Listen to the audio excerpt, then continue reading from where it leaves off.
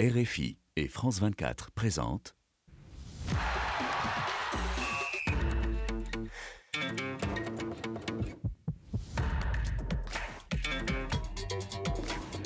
Radio Foot International, le Café des Sports, Annie Gasnier. Bonjour à tous et merci d'être au rendez-vous du Café des Sports hebdomadaire, votre rendez-vous qui aujourd'hui un invité très spécial. C'est, dit-on, le roi du Malax. C'est aussi une star internationale, mais pas sur les terrains. Non, pas sur les terrains de football, mais par contre sur toutes les autres scènes du monde entier. Bonjour Youssoundour. Bonjour Annie. Merci d'être dans le Café des Sports, hein, exceptionnellement. Euh, C'est votre première visite dans le Café des Sports? Oui, c'est c'est ma première visite et je suis fan de, de cette émission. Je l'écoute énormément à la radio et chaque fois que j'ai l'occasion aussi, je le regarde. Alors en plus, on a euh, tous, les, tous les habitués de ce Café des Sports sont autour de vous. Ah oui, oui, je suis Hein ravi. euh, L'ennemi éternel de Oui. tout le monde, l'adversaire, euh, Oui, oui. Rémi Ngono, qui est à vos Rémi, côtés, ah oui. notre Rémi. ami. hein Mais, on a déjà gagné. Le. Oui, j'ai gagné. On a- lions. Vous vous rendez compte Le lion de la Teranga avec le lion indomptable Ah, ça. face au coq. Alors on a deux coqs justement. Quel Et match c'est pas mal les deux coqs en Quel face. match Bonjour Xavier Barret. Bonjour Annie, mais moi j'étais au Sénégal quand Rémi était au Cameroun. Ah ouais Quand j'étais enfant. Ouais, ouais, Oui, oui. mon père était médecin à Élevé Dakar. à Dakar. Élevé à Ah Dakar. ouais, donc, Ah Bonjour oui, Marc voilà. Lebras. Bonjour à tous. Vous, vous étiez à Marseille ou à Toulon. euh, Ouais, moi j'étais dans, Entre les dans deux. le quartier. J'ai joué avec beaucoup, beaucoup de Sénégalais aussi. Et oui, du côté de Marseille, bien Eh sûr. oui. Et puis Frédéric Suto est là. Bonjour Frédéric. Bonjour Annie, bonjour Youssou. Euh, Bonjour, les auditeurs, euh, ils ont vu le sommaire, hein, et ils se régalent déjà. euh, le king de la musique africaine, le meilleur chanteur de sa génération. euh, ça défile, ça défile là, sur le Facebook Live. Alors nous allons parler football, Football. avec vous, euh, en dépit de votre présence à Paris pour euh, un spectacle musical au Châtelet. Nous parlerons football, on parlera euh, du, du Sénégal et de ces lions. Euh, de la Teranga, euh, resteront-ils champions l'année prochaine? Nous parlerons aussi hein, de l'OM, hein, puisque c'est quand même le club phare euh, pour les Sénégalais. Et puis nous parlerons aussi de, de ce match en perspective qui est euh, PSG Marseille. Ça sera dimanche soir au Parc des Princes. Il y aura aussi un derby du côté de l'Espagne en Liga, les rugueux colchoneros de l'Atlético qui recevront les fougueux merengues du Real Madrid. Un café réalisé avec euh, Et Yann Bourdela avait, est préparé avec David Finzel et Pierre Guérin, ainsi que Laurent Salerno. Le Café des Sports, les débats sont ouverts.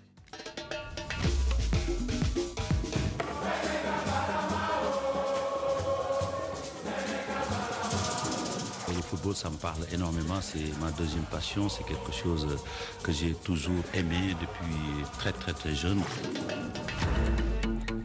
Voilà, Youssoundour, c'est vos propos, hein, on les a pas déformés. c'est pas de l'intelligence artificielle, c'est vous. Youssoundour, est-ce que vous avez rêvé dans votre vie d'être, euh, en plus d'un gars indé, un supporter, d'être un joueur de foot? Oui, très jeune. Ouais, je pensais que je pouvais y arriver. Parce qu'en fait, en, en face de chez nous, il y avait un terrain qu'on appelait Wembley.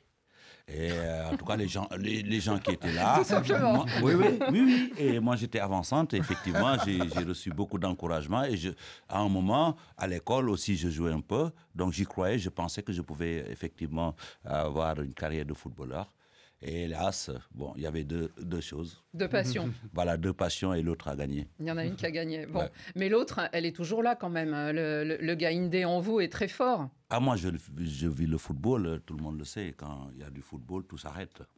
Alors quand, euh, par exemple, les- les- les- le Sénégal est champion d'Afrique, vous allez à l'aéroport, vous êtes même le reporter de Radio Foot International, vous nous racontez l'arrivée des, des champions d'Afrique euh, nouvellement euh, consacrés. euh. Quel moment Quel moment Parce que bon, j'ai assisté à la finale euh, à Bamako, entre au le Mali. Cameroun Voilà. et le Sénégal. Ce jour-là, je suis descendu pour aider les joueurs parce qu'ils pleuraient tellement, les, les et autres. J'ai vu cette finale-là. Après, je suis allé au Caire. J'ai vu cette finale 2019. 2019. Face à on a l'Algérie. perdu. Je me souviens toujours, euh, l'avion, j'ai dormi. et au Cameroun, j'ai dit non, j'y vais pas. Vous êtes chat noir? Oui, mais moi, j'ai dit j'y vais pas. Je suis resté à la maison et effectivement, on a gagné la coupe. Et donc, là que j'étais là, Et comme je suis fan de, de l'émission, bon, voilà, j'ai dit, je vais donner un coup de main. vous, vous- vous avez gagné au Pays des Lions Indomptables. Oui, c'était Rémi une, revanche. Non, c'est pas une revanche, c'est une bénédiction parce que gagner au pays des lions indomptables, surtout que c'est le Sénégal, nous devons dire que nous avons d'abord des liens forts de fraternité et le peuple camerounais est toujours reconnaissant puisque même le tout premier président du Cameroun repose sur la terre sénégalaise. Et ça fait de telle sorte que chaque fois qu'il y a une confrontation entre les lions indomptables du Cameroun et les lions du Sénégal, il y a une certaine amitié. D'ailleurs, quand les lions étaient les lions de la Teranga ont remporté, je peux vous dire, c'était presque l'équivalent des lions indomptables qui avaient gagné cette coupe-là. Donc on n'a pas senti la douleur de perdre la finale, comme en 72, chez nous, sur place, mais on a dit au moins le Sénégal a gagné. Au moins, c'est des lions. euh, voilà, c'était lions. des lions. Alors, Youssou N'Dour, ils sont champions d'Afrique en titre. Ils vont remettre leur euh, titre en, en jeu. Ça sera très bientôt. Ça sera au mois de, de janvier euh, en Côte d'Ivoire. Comment les voyez-vous, euh, ces joueurs euh, Comment la voyez-vous, cette équipe du, du Sénégal actuelle? Elle a quand même perdu très récemment dans son très beau stade euh, face à l'Algérie. 1-0, c'était un match amical, mais quand même, est-ce qu'il y a des signaux d'alerte? Il y a embouteillage. Il y a embouteillage parce que, bon, voilà, on a une génération qui a gagné il y a quelques, quelques temps cette Coupe d'Afrique. Entre-temps, on a vu émerger énormément de jeunes talents qui en veulent et que, que les gens adorent. Donc, je, Aliou, je pense qu'il a, il, aura un problème de choix. Il aura un problème de choix pour mettre l'équipe qu'il faut. Si on se base sur, sur des noms, effectivement, euh, les autres équipes euh, peuvent arriver avec plus de fraîcheur et peut-être euh, éliminer directement le Sénégal ou en trois battre le Sénégal sur cette Coupe d'Afrique-là. Donc, il va falloir trouver le juste milieu, d'amener de la nouveauté, vraiment avec force, et de garder l'ossature. Donc, à lui, il a beaucoup de travail, parce que nous sommes l'équipe à battre. Ça, on le sait. C'est une ossature qui, euh, pour euh, beaucoup de, de joueurs, ne joue plus dans les grands clubs européens. Je pense à Sadio Mané, je pense à Edouard Mendy, je pense à Khalidou Koulibaly. Ils sont partis assez loin, beaucoup dans, pour la plupart dans le golf, Abdou Diallo aussi. Est-ce que cette, euh, le, le fait d'être parti loin, euh, ça peut poser un problème à l'équipe d'Aliou Cissé? Ou des forces vives, quelles sont-elles, celles que vous avez observées? Parce que le Sénégal est champion dans les catégories de jeunes aussi. Oui, moi, je leur ai dit de créer un groupe WhatsApp. Parce que, bon, attends. euh, Il va y avoir du monde. Voilà, on a vu que ça, ça, ça a beaucoup bougé. Et quand ils étaient en Europe, ils se parlaient énormément, je, ça je sais. Et maintenant, il faut garder le contact. Et que euh, ça, c'est très important. Mais il faut être honnête. Il faut être honnête. Nous sommes à la veille d'une compétition importante qui, en fait, nous amène en projection sur la prochaine cou- Coupe du Monde pour les qualifications. Il faut être honnête, il faut que les gens ils se parlent. Ceux qui pensent qu'ils ont, on a un meilleur dans ce poste, sur ce poste, que voilà, ils parlent parce qu'ils se parlent très très très bien avec euh, l'entraîneur. Aujourd'hui, il ne faut pas que des noms gênent une émergence de, de- de force parce que cette Coupe d'Afrique-là qu'on va, qu'on va jouer, il y aura beaucoup d'émergence de force jeune venant des autres équipes. Il ne faut pas qu'on soit surpris.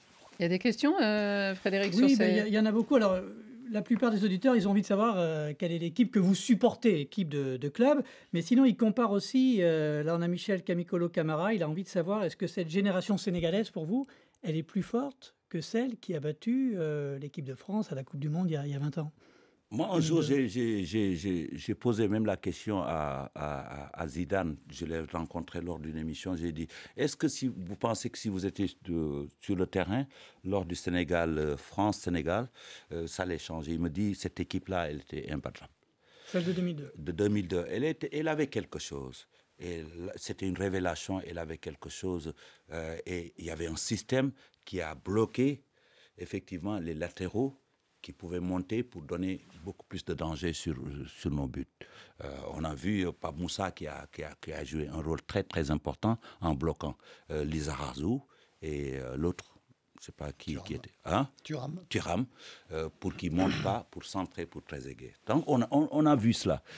Ce qui a changé, là, c'est qu'on a des, des- des garçons qui en voulaient, qui ont été frustrés de voir que depuis 2002, on passe toujours à côté. Et ils ont vraiment beaucoup travaillé avec euh, l'arrivée de, de, de, de Aliou. Il faut, il, faut, il faut quand même noter que Aliou a été une demande nationale. Parce qu'on a. Et une réussite nationale. Euh, oui, une demande nationale d'abord et une fierté avec la réussite. Donc, euh, euh, cette équipe n'a rien à voir avec 2002. Ça n'a rien à voir. Moi, je, euh, 2002, c'était comme un tableau, c'était extraordinaire, c'est la surprise et tout. Mais cette équipe-là, c'est le vouloir, tu vas C'est plus ra- performer. Plus rationnelle, elle est plus rationnelle, elle est construite sur voilà, elle est construite. Et il y a beaucoup d'embouteillages. Ça, je vous le dis tout de suite parce que on voit des jeunes joueurs aujourd'hui, euh, le public l'adore et les gens, ils se disent que bah, pourquoi lui euh, qu'on ne remplace pas avec l'autre? Et c'est la question. Les, petits jeunes dont on parle du côté du Sénégal, il y en a un qui s'appelle Amara Diouf, Oui. qui a 15 ans hein, seulement. Alors, euh, Génération Foot, c'est une académie que vous connaissez Oui, bien, n'est-ce pas suis le président d'honneur. Voilà, la pépinière euh, de, qui, est- qui a un partenariat avec euh, euh, le FC Metz. C'est comme ça qu'on a découvert, Oui. par exemple, Sadio Sadio Mané. Mané. Et puis, il y en a un, un autre qui s'appelle Lamine Camara. L'ami Camara. Justement, alors c'est vrai que le, le trava- le Sénégal travaille aussi euh, sur, euh, sur ces jeunes. Mais moi, je pense que le Sénégal a été bien inspiré euh, par la France, qui a des infrastructures, et c'est la base. Et aujourd'hui, avec la génération foot et Jambar et autres, ouais. euh, les- les- voilà, où les gens ils étudient, ils font des études et ils font le sport. C'est vraiment un modèle qui a bien marché. Et ce modèle-là a sorti effectivement des joueurs. Et c'est là où il faut rendre euh, hommage à- au FC Metz, qui a nié ce partenariat et qu'on a vu que Metz a, depuis sur François Bocandé, c'était avant même euh, Génération Foot, a quand même fourni euh, dans ce monde du, euh, du football énormément de joueurs, dont Ismaël, dont, dont Sadio, etc. Donc euh, voilà, moi je pense que les infrastructures et l'organisation à partir des écoles de formation de football ont, ont donné le résultat. Et maintenant, il faut l'amplifier, il faut démultiplier cela un peu partout en Afrique pour être encore beaucoup plus performant. Youssou Et c'est du business, hein, ils savent. hein. Vous avez un concert, donc euh, vous avez un spectacle musical au Châtelet. J'aimerais juste vous poser une question, c'est sur Marseille. Marseille, nous avons un Marseillais ici. Je ne sais pas si vous avez un message à lui faire passer euh, à ses camarades. Mais euh, Marseille, c'est quand même le club français qui est euh, un peu le, le phare pour le Sénégal. Grâce à Pape Diouf, qui a été le, le président, grâce aux joueurs, alors même à Niang, euh, Souleymane Diawara, euh, Habib Bey, bien sûr, Oui, qui a longtemps travaillé avec nous. Et puis ceux qui sont maintenant, maintenant là, Ismail Assar, euh, Mhm, Pape ouais. Gay, euh, Ah, Pape Gay et, et Eliman. Ndiaye. Mhm. Qu'est-ce que vous pensez de, de- de cette équipe, et notamment hier soir, hein, qui, qui réussit à, à se sauver dans une tempête? Oui, mais ils sont laissés à eux-mêmes. Euh, ils, ils ont fait un match extraordinaire hier. J'ai- vu le résumé. Je pense qu'ils ont fait un, un- un très bon match. Bon, le problème de Marseille, ce sont ses dirigeants. Aujourd'hui, on ne sait pas qu'est-ce qu'ils veulent. C'est du business derrière. C'est tantôt l'Amérique qui est là, tantôt on amène telle, telle, telle, telle chose. Donc, il y a un problème au niveau de la présidence, au niveau de la direction. Mais vous séparez les deux? Je sépare les deux. Je sépare les deux parce que, bon, des fois, je, je me demande, on ne peut pas avoir Ismaël Sarr, aujourd'hui, qui est un garçon qui, a, qui en veut, tu vois, et après le mettre sur le banc, ou je ne sais pas s'il est blessé ou pas, tu vois. non, il n'est pas blessé. Voilà. Euh, donc, Gay a eu il y des problèmes, lui, Voilà, l'entraîneur, il part au bout de sept matchs. bon, voilà, il y a un problème avec la direction. Marseille, nous l'aim- nous l'aimons beaucoup parce que euh, les premiers bateaux qui, qui sont arrivés en, en- en Europe, euh, Arrivé à Marseille. voilà, arrivé à Marseille et encore le président, le regretté Pape Diouf. Donc nous sommes tous Marseillais, mais là ça craint là avec la direction.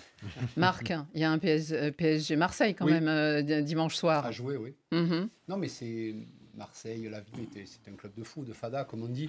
Et encore une fois, euh, d'avoir une direction, une tête qui se retrouve aux États-Unis pour gérer quelque chose en France, dans la ville de Marseille, il faut être ici, il faut le vivre. Et là, aujourd'hui, on n'arrive pas à le vivre. Et nous, on a vécu une époque, on est Quadra, Kenka, euh, on a vécu une époque Mhm. et on est tous nostalgiques. On aimerait revoir ça. Mais hier soir, Marseille est en autogestion. C'est Mhm. les joueurs. C'est. Et Pancho, Pancho qui est un ami, euh, qui est euh, Ah bah, Le- ah bah, Bardonado, hein, l'entraîneur. Pancho qui est l'entraîneur, l'adjoint aujourd'hui et qui est juste euh, la personne qui va aider le club. Mais ils étaient en gestion à soir, ils s'en sont bien sortis. On va poursuivre cette discussion. Malheureusement, Youssou N'Dour, ça sera sans vous. Vous allez aller euh, voir PSG Marseille dimanche soir? Il n'y a, pas de, il y a Je- pas de spectacle? Je vais essayer. Ouais. Et, vous, Allez, et vous- Rémi, tu et viens. vous serez Ah, moi aussi, un jour, on sera, on sera ensemble. On sera ensemble. Voilà. En tout cas, merci les amis. Merci Ah, beaucoup. Merci, Merci beaucoup. merci, merci Merci d'être venu dans Merci. notre. À très. À très bientôt. Je vous suis. hein.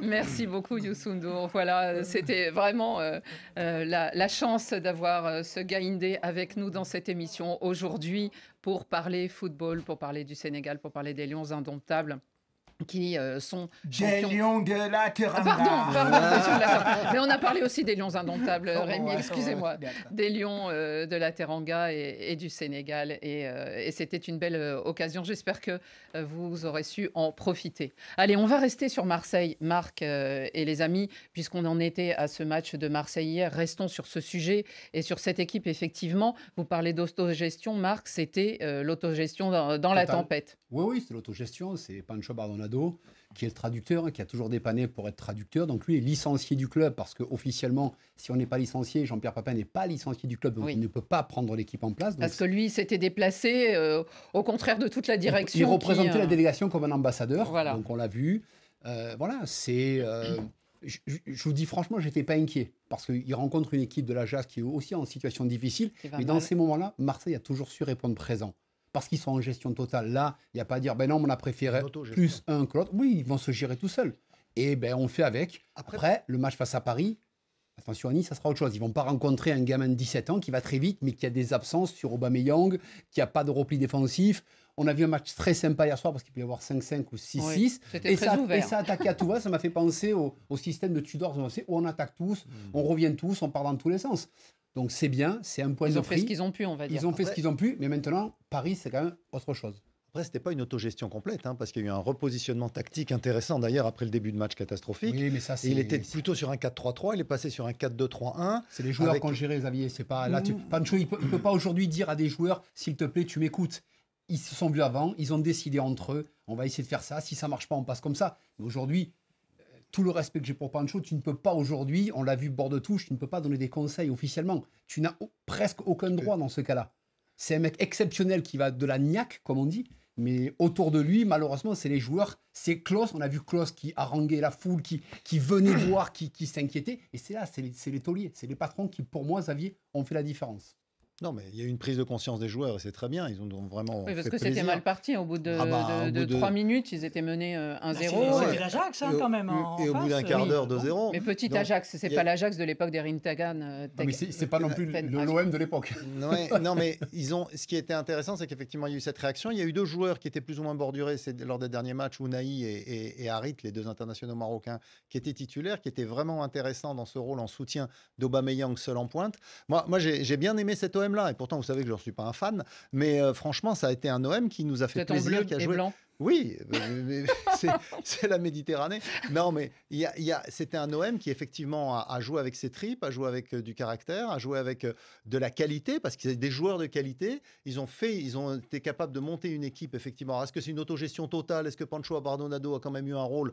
Là, je je je peux pas vous donner euh, tous les détails des discussions qu'ils ont eues entre eux, évidemment. mais mais j'ai trouvé que cet OM-là avait su se avait ressaisir. Hmm. avait su se, se mobiliser. C'était intéressant. Rémi, vous aussi, vous pensez que, que cette, euh, cette OM hier, euh, alors peut-être emmené par Emeric Aubameyang, parce qu'il est, il est là pour, pour ça, euh, Pierre-Emerick Aubameyang, l'international gabonais. Il est là pour marquer des buts, et finalement, il a été aussi euh, celui qui euh, emmenait son, son équipe. Il marque le troisième but égalisateur, il évite en tout cas la défaite.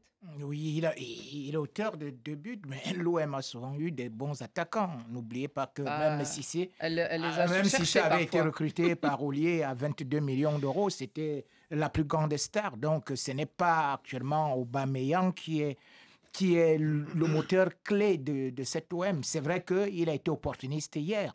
Mais moi, ce qui me gêne, c'est justement de vouloir euh, faire des cocoricots après cette victoire, parce que bien au contraire, il faut être très inquiet. hein, 3-3. Oh oui, c'est oui, une victoire.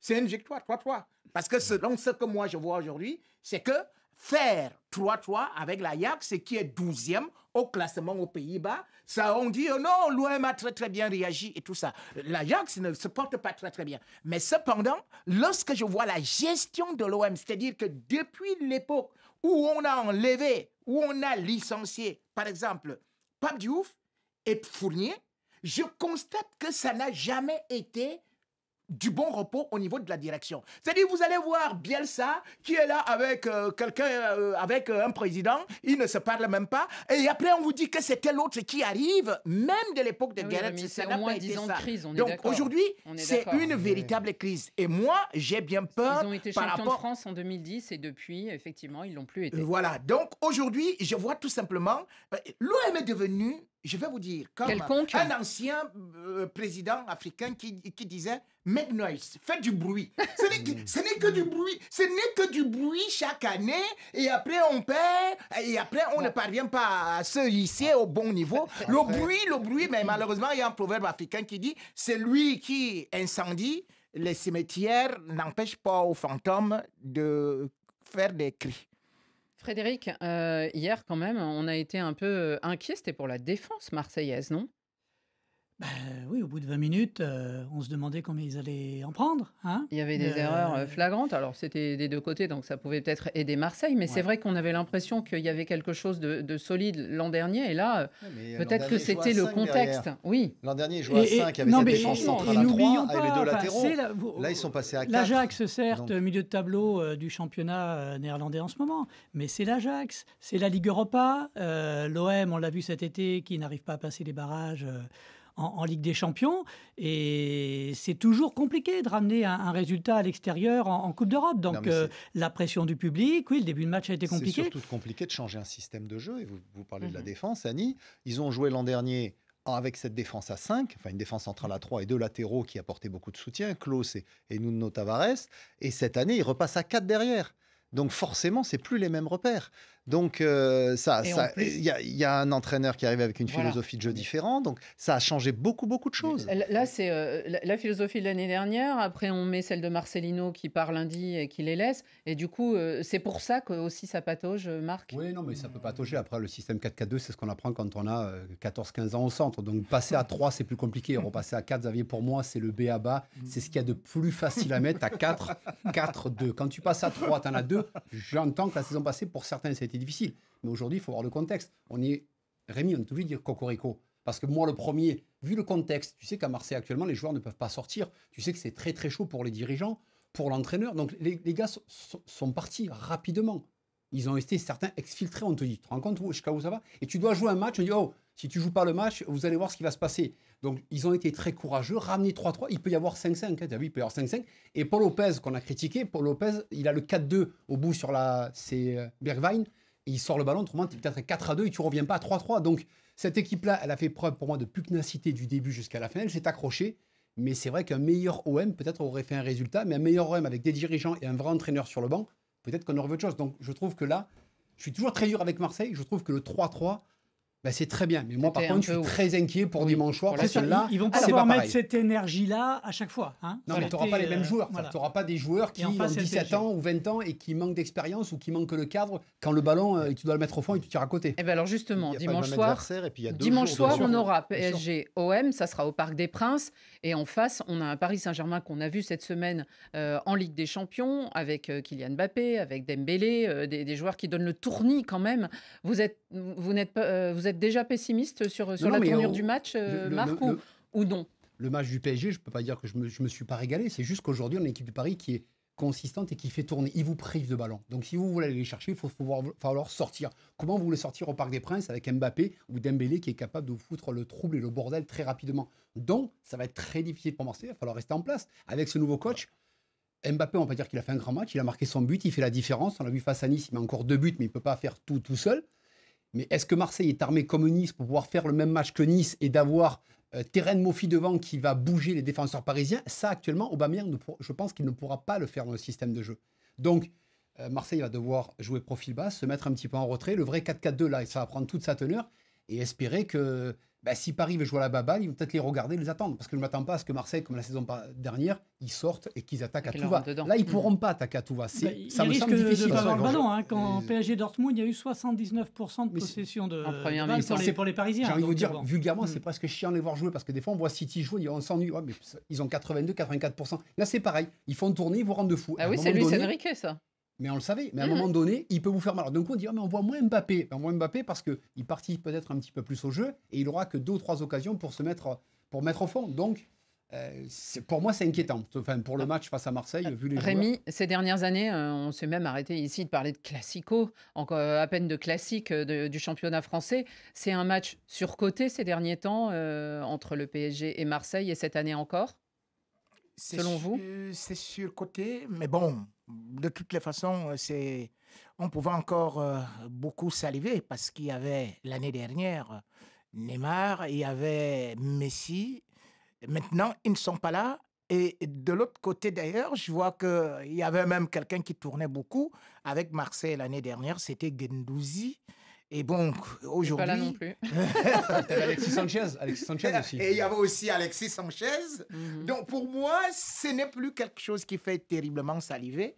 Et puis aujourd'hui, le football que nous sommes en train de vivre, parce que même le PSG n'est pas aussi conquérant que ça. La preuve, Nice a réussi à faire mal à ce PSG-là. Ce PSG ne roule pas comme tu le penses. Parce que quand tu vois quand même, vous allez me dire, il donne du tournis, mais Dembélé, Dembélé, oui, à part quelques accélérations, deux euh, pour le dernier match. Qu'est-ce qu'il a fait? Sept matchs, pas de but, pas de passe Marque décisive. pas beaucoup Donc, Dembélé. Hein. donc aujourd'hui, non, non, non, c'est- alors- pas sa qualité pas- première. c'est pas sa Ouais, qualité. mais C'est même attends, plutôt son mais défaut, c'est de ne donne pas au moins une passe décisive. Sept matchs, Oui. et il sert à quoi? Il sert à vient- quoi? il vient Il a- Pas de passe décisive, fait- pas de. En- dans la- en Liga, il avait beaucoup de pas- de passes décisives. il, fait- il Rémi. avait beaucoup de Oui, passes décisives sur la dernière saison. Est-ce que, Mais est-ce que, comment vous le voyez-vous ce, ce match euh, de- du Bah, championnat de France, euh, Xavier? J'étais encore au, au parc mardi soir pour le PSG Dortmund, donc le PSG va confisquer le ballon. Frédéric y Et- était aussi. Oui, et, est donc, euh, le, PSG, le PSG va confisquer le ballon et va faire ce qu'il fait sous la coupe de Luis Enrique, c'est-à-dire euh, être- s'installer dans le camp de l'OM et essayer de, de marquer rapidement. Après, s'il marque pas rapidement, mais ils vont continuer d'attaquer jusqu'à jusqu'à ce qu'il marque. La, la chance, et là je rejoins effectivement Marc Libra, c'est que l'OM, du coup, n'ayant pas du tout la responsabilité du jeu, ils vont pouvoir procéder en contre. Est-ce qu'ils auront suffisamment d'occasions pour venir réussir ce qu'a fait Nice? On peut en douter, surtout après avoir joué ce match à Amsterdam et avoir 48 heures de, repos- D'écart. de- de repos en moins que le PSG. Le PSG a joué mardi soir, l'OM a joué jeudi. ils Donc il y a, il y a deux, deux- 48 heures d'écart avec ce niveau d'intensité de match Et le euh, qu'ils ont joué. euh, ça, à mon avis, ça risque de peser dans les jambes des Marseillais. quand, quand Nice est venu gagner au Parc la semaine dernière, c'était après la trêve internationale. Euh, Luis Enrique n'avait pas pu aligner euh, au coup d'envoi Oui. l'équipe l'équipe qui Notamment voulait. hein. Il y en avait qui étaient beaucoup euh, ouais. fatigués. Bon. Ah ouais, Et, et mais- sur les deux matchs, il fallait en gagner un. C'était- septembre. C'était celui contre Ah, Dortmund. Non, mais en tout cas, il valait mieux perdre mais- contre Nice et gagner contre Dortmund.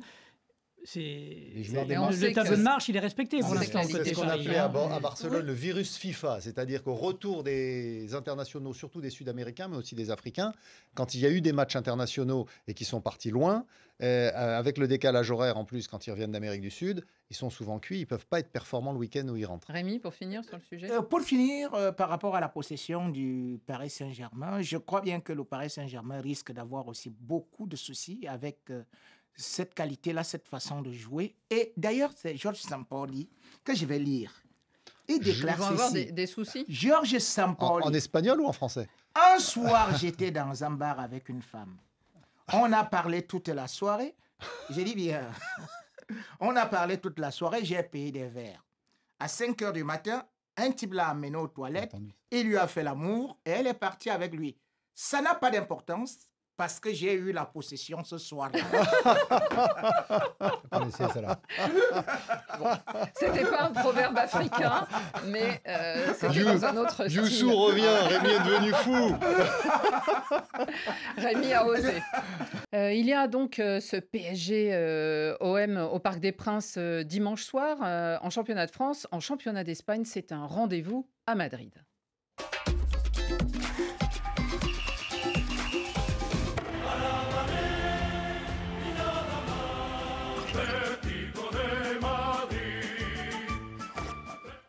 Le derby de Madrid, ce sera le choc de cette sixième journée du championnat espagnol, programmé là aussi dimanche soir. hein. Il faudra avoir deux téléviseurs. Vous savez faire ça, je crois, euh, Ouais. Xavier. hein, avec, euh, vous avez les yeux en coin, vous suivez les deux matchs.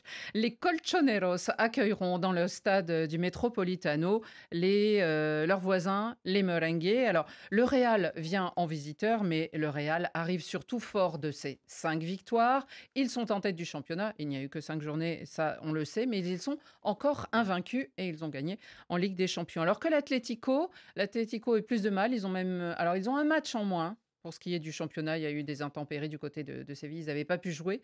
Par contre, euh, ils ont déjà enregistré une défaite. Et euh, bon, pour la, ce qui est de la Ligue des Champions, ils ont enregistré match nul. Mais un derby reste un derby, Rémi Ngono. Le Real Madrid, tout à l'heure, Yosundur, vous euh, mettez, euh, plaisantez avec le Real Madrid. Mais euh, qui pour contenir ce fameux Bellingham qui a inventé apparemment le Bellingham Time du côté de, de Madrid? Personne. Vous savez, c'est comme c'est l'ADN du Real, on a pu le constater. Je crois que Diego Simeone sait déjà comment est-ce que ça s'est passé avec la décima, la undécima. Bref, le Real Madrid est toujours dans les dernières minutes, que ce soit Bellingham, que ce soit Ramos, que ce soit quelqu'un d'autre, a toujours eu à marquer dans ces minutes-là. Sauf que c'est vrai que c'est surprenant que Bellingham se transforme subitement en sauveur, puisque quand on voit quand même que rien que les trois derniers buts qu'il a eu à marquer, c'est-à-dire que c'est pratiquement 95e minute, 90e minute, 81e minute. Donc il surgit toujours. Cela veut aussi dire qu'il garde une certaine lucidité parce qu'il a une activité intense au milieu de terrain, fait le lien entre la défense et l'attaque. Il se retrouve même souvent deuxième avant-centre. Ça fait de telle sorte que c'est un homme pluridimensionnel aujourd'hui. Et je crois au moins qu'avec ce Real Madrid, euh, cependant, il y a un souci qui va apparaître parce que justement, on voit que les vieux briscards aussi commencent à avoir un petit désespoir. C'est-à-dire que depuis le début de la saison, euh, depuis le début de la saison, ils veulent être titulaires. Par exemple, Modric Mhm. en train de se plaindre de n'avoir fait que 248 minutes alors qu'il a joué 33 matchs l'année dernière et il a été prolongé sur la base qu'il Oui, oui. devrait être titulaire. Or, il a été titulaire qu'une seule fois. Quand on voit Kroos également aujourd'hui, Kroos lui Ouais, aussi n'a pas beaucoup de temps de jeu. Mais cependant, on n'a pas peur. Euh, Diego Simeone commence déjà à broyer. Oui, il fait déjà le show et tout et tout. Mais on connaît comment ça se termine toujours. C'est l'Oréal qui gagnera Ah oui. toujours à la fin. Oui, ont il y a beaucoup le- de- Mais il y a, à le part proverbe, qu'ils ont- il y a un proverbe africain qui dit que celui qui est habitué à hein. manger la tête du Ils ont- crocodile n'a pas peur des yeux. Ils ont, pas, ils ont beaucoup d'absents, le Real. Euh, et ils ont beaucoup d'absents. Et l'enchaînement des matchs, là, ils ont joué en, en semaine en, en Ligue des Champions. Donc, l'enchaînement, un match difficile finalement, hein, puisqu'ils ont quand même gagné, vous l'avez rappelé à la toute dernière minute. Eh bien, l'enchaînement des matchs fait que ça va être de plus en plus compliqué à gérer pour Ancelotti. Parce qu'il a plus de banc. Il y a Courtois qui est blessé, Dani Carvajal est forfait pour euh. Eder Militao, Vinicius. Jeu de Bellingham est incertain pour le, le match contre l'Atlético. Donc ça fait presque une moitié d'équipe déjà qui est sur le flanc et des joueurs importants. Donc cette équipe du Real, est-ce qu'elle va pouvoir continuer comme ça tout l'automne à, à- à gagner ric-rac, à surperformer C'était mon carton. J'ai- j'ai- la- j'ai- j'ai C'était des- mon c'est carton le la saison paradoxe. donc, dernière. bah, je, rejoins l'avis de Rémi Ngono pour une fois. Mais c'est pour ça que moi, j'enterre pas euh, l'Atlético pour ce derby. 5 matchs, 5 victoires, Bellingham meilleur buteur. Quand on regarde les stades, on pourrait dire mais c'est le meilleur début de, de l'histoire pour, une saison. Mais, ça cache euh, Hmm. D'autres Sans- problèmes à venir. Sans oublier les, les faveurs des arbitres, qui a eu lieu déjà à Vigo contre le Celta. Il gagne avec un but refusé qui était parfaitement Oui, valable ça, au Celta. toutes les équipes, tous Et, à Almeria, et à ce Almeria. Almeria, Bellingham égalise en contrôlant le ballon Xavier de la main Carton et l'arbitre l'a pas vu. Donc ça, ça arrive. Tout le monde connaît foi. Almeria, contre le Celta de Vigo, mais, ça n'arrive pas Mais Il a forcément contre dit que le. Real a gagné 14 Ligues des Champions grâce aux arbitres. Il nous a dit ça. aussi, 14 Ligues aussi. des Champions. Il a pas changé, Ça fait longtemps que je t'ai pas vu, il n'a pas changé. hein. Ah, il n'a pas changé. évolué quand même, mon Aussi. garçon. En 2023, c'est pas possible. Alors, Marc, Ah, non. en face, l'Atlético, euh, l'Atlético Madrid, quels sont ses, finalement ses atouts? Il y a toujours Antoine Griezmann, euh, il y a toujours Diego Simeone sur le Mais banc qui donne une, une force énorme à son groupe, mais Tout dépend encore une fois de Diego Simone qui, lui, va foutre le feu, qui va essayer d'haranguer. Moi, je, à contrario de mes copains, je ne suis pas forcément inquiet pour le Real Madrid. Quand on voit qu'on est capable de marquer 95, 96e ou 94e, c'est-à-dire déjà sur le point de vue physique et préparation, on, On est déjà très bien en place. Les joueurs, rappelez-vous, Courtois se blesse. Bon, Courtois, il ne faut plus compter sur lui. Donc maintenant, il y a un gardien qui est en place, il fait le job.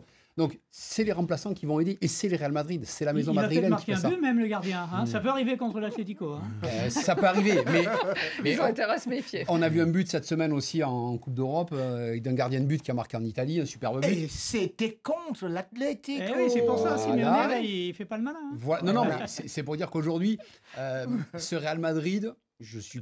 Voilà, je, je pense qu'ils seront présents, ils vont faire ce qu'ils vont. Et l'Atlético Madrid, bah, ils vont jouer avec leur force, ils vont essayer de pourrir un petit peu le match. Certes, il y a un avantage par rapport aux blessés, mais est-ce qu'aujourd'hui l'Atlético est capable de rivaliser avec le Real?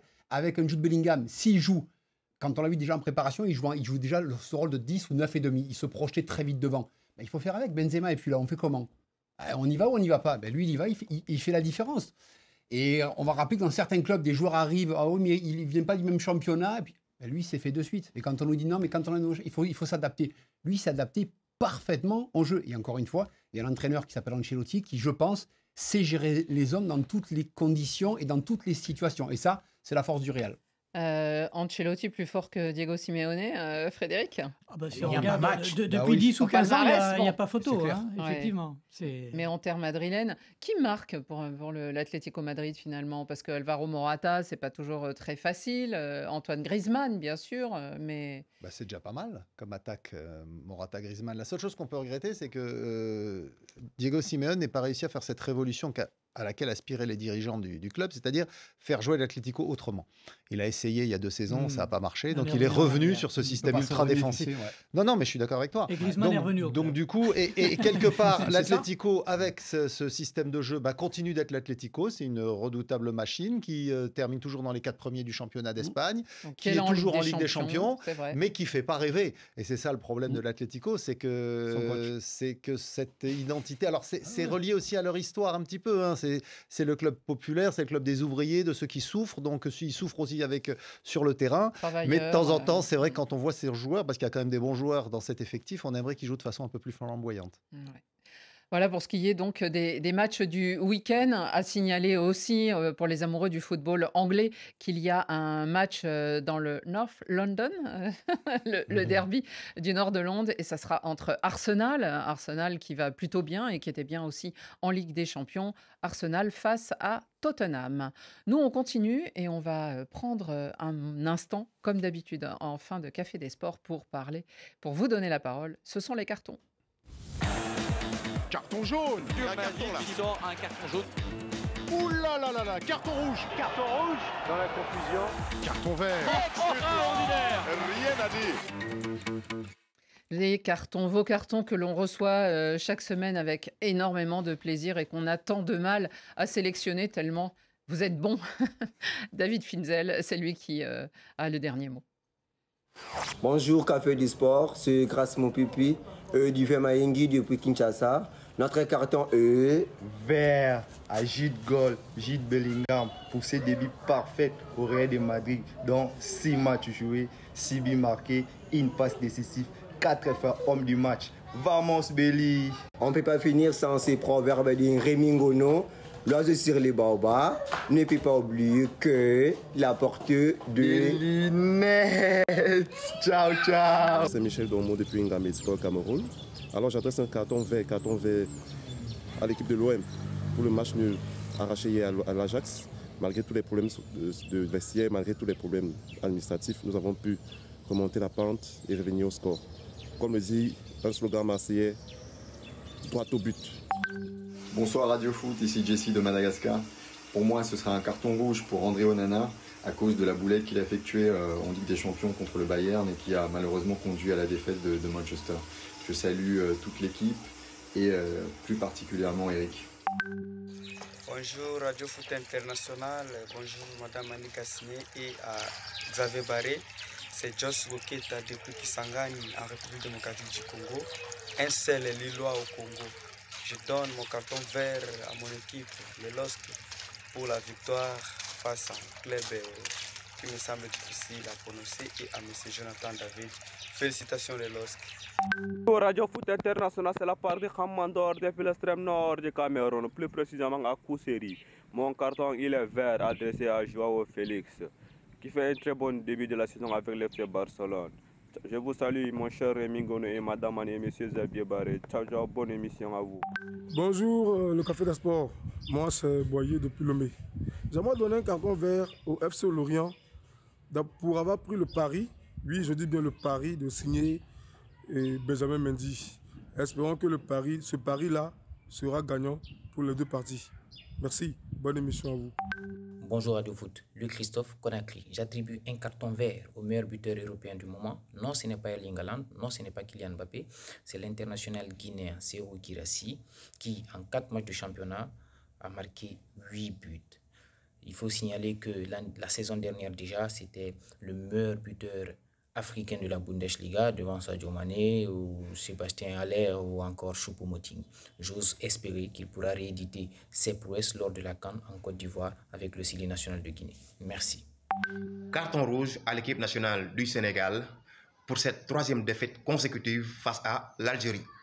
J'ai comme l'impression que maintenant, quand les Algériens nous rencontrent, ils nous disent, certes, vous avez le plus beau stade d'Afrique, les meilleurs jours d'Afrique, le meilleur entraîneur d'Afrique. Mais nous, Algériens, on a la recette pour vous battre.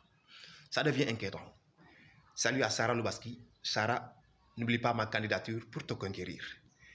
Bon week-end à tous. Bye. Bonjour, le Café de Sport. Je suis Sir Pavel depuis le Congo Brazzaville. Alors, j'ai deux cartons verts. Le premier carton vert va à l'endroit de l'équipe de Mondial Sport qui nous a régalé le mardi et le mercredi en commentant les matchs de l'UEFA. Avec vous, les gars, je n'ai pas besoin d'abonnement TV. Et le deuxième carton vert, c'est pour le gardien de la Lazio qui a égalisé à la 95e minute. Ça n'arrive pas très souvent un gardien de but de marquer, mais il nous a régalé. Chapeau à lui, Ivan Provedel. Voilà pour ce qui est donc de vos cartons et on voit que vous êtes très attentifs, que vous suivez extrêmement bien euh, cette actualité euh, sportive et que vous êtes fidèle. Celui qui euh, de Madagascar saluait Eric, évidemment, vous avez tous deviné, c'est Eric Rabé Sandratana, notre euh, Barréa il avait le maillot le du groupe. Manchester United, on pensait que c'était Eric Tenag. non, non, non, c'était pas Tenag, Rabé qui, qui a entraîné la sélection hein, quelques mois. Exactement, il y a- quelque temps. Un an et demi, deux ans. On s'en souvient. Euh, Xavier, ben, je vais vous donner la parole Oui, parce que vous allez rebondir sur, euh, sur le sur dernier, carton, le carton de notre copain, et effectivement, moi aussi, carton vert à, à Ivan Provedel. Alors, non seulement pour son but incroyable, parce qu'effectivement, c'est un vrai but construit, hein, c'est pas simplement le gardien qui est là dans la surface qui attend, il traverse toute la défense adverse pour venir placer son coup de tête, mais surtout, il l'avait déjà fait en Série B avec euh, la Juve Stabia, le club où il jouait avant contre Ascoli. Il avait permis à son club à l'époque de faire 2-2, c'était en 2020, c'était il y a trois ans, donc c'est quand même assez. Alors, c'était pas une première, mais c'est rarissime quand même. Et surtout, c'est un garçon qui a déjà 29 ans. Et je trouve que ce, but met le projecteur sur un vrai problème pour un certain nombre de joueurs italiens en général. C'est-à-dire que comme les clubs italiens, on en a déjà parlé dans cette émission, recrutent beaucoup de joueurs étrangers, eh bien les joueurs italiens de talent sont obligés d'aller jouer en série B, en série C. Et parfois, ils n'ont jamais cette chance de revenir au plus haut niveau. Lui, il l'a eu, il est passé par un trou de souris. Il est revenu à la Lazio comme gardien remplaçant. Le gardien portugais qui avait été recruté s'est blessé. Et il est devenu titulaire et il est resté titulaire parce que Mauricio Sarri lui a maintenu sa confiance. Et aujourd'hui, on parle même de lui en équipe d'Italie, mais il aura dû attendre 29 ans. Mhm. Et il, il- il devra peut-être aussi attendre euh, derrière Donnarumma parce que ça va pas être simple. euh, Oui, euh, la concurrence. Au moins, il est en Serie A et à un bon niveau. Frédéric Suto, vous aussi, vous, avez- vous pouviez rebondir sur certains de, de ces cartons parce Oui. que euh, il y a eu euh, un carton qui faisait allusion à un personnage que vous aviez remarqué dans la semaine aussi. Ah, C'est c'est difficile de, de ne pas le voir. Hein. Girassi, le Guinéen, effectivement, on a eu un auditeur, un auditeur là, de, de Guinée. euh, bah, il, est, passé euh, par Lille, par Amiens, par Rennes. euh, et puis là, à Stuttgart, depuis un an, il s'éclate. Alors l'année dernière, il avait déjà marqué pas mal de buts, mais depuis le début de la saison, il en est, notre auditeur nous le disait, Serou Girassi, 8 buts en 4 matchs. Il y a eu un triplé, il y a eu deux doublés. C'est mieux que Kylian Mbappé avec le PSG, c'est mieux qu'Erling Haaland. Il est parti sur des bases à la Robert Lewandowski. Vous nous parliez du gardien de la Lazio. Bah, Guirassy, il a 27 ans. Et c'est aujourd'hui, à cet âge-là, bah, que l'Europe entière le découvre. Et on a une canne avec le Sili national, la Guinée en janvier. On a hâte de le voir emmener cette sélection. Rémi, vous vous changez de couleur. Je crois que vous n'avez pas de carton vert aujourd'hui. rouge. Bon. Rouge, comme la tenue de Manchester United et particulièrement à Eric Ten Hag. Pourquoi? Parce que ici, Xavier Barré a passé le temps à labourer José Mourinho. Oh non, José Mourinho fait mal jouer l'équipe. Et maintenant, voilà Eric Ten Hag qui a changé les méthodes et tout ça. Par la suite, c'est Cristiano Ronaldo qui est arrivé. Il a dit non, c'est Cristiano Ronaldo qui empêche à l'équipe de bien jouer. Donc finalement, on a dit c'est Cristiano Ronaldo qui dérangeait Manchester United. Depuis un certain temps, Eric Ten Hag a des mains libres. Il achète des joueurs. Il, a même plus, les empile. Il a même plus Maguire. Il n'a même plus Maguire. Et vous vous de rendez compte Il est parti prendre. Il est parti acheter. Vous, vous savez, il a quand même laissé David De Gea, qui a été élu meilleur gardien de la Première Ligue. Donc, lui, il dit, je ne veux plus de toi. Il a pris André Onana. Et maintenant, André Onana fait une erreur de la main. Les gens disent que, oh, vraiment, notre problème, c'est André Onana. Ils oublient que c'est Eric Ten Hag.